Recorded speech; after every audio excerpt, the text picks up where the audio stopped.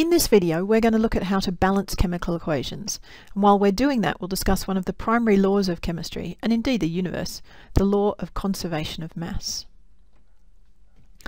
The law of conservation of mass states that matter can neither be created nor destroyed.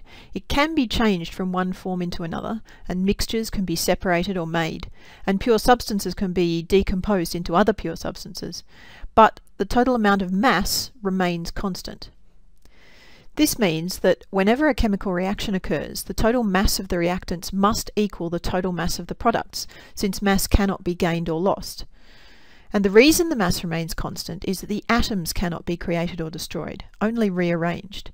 So another way of looking at this, a way that helps us in balancing equations, is that the number and type of atoms in the reactants, which are written on the left of an equation, must be identical to the number and type of atoms in the products, which are written on the right of the equation. All that can happen is that the atoms are rearranged.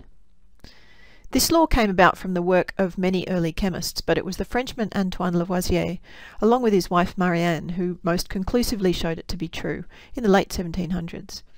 And it was only by some excruciatingly precise and careful lab work and the use of the best technology of the day, in particular accurate balances, that they were able to prove this law conclusively.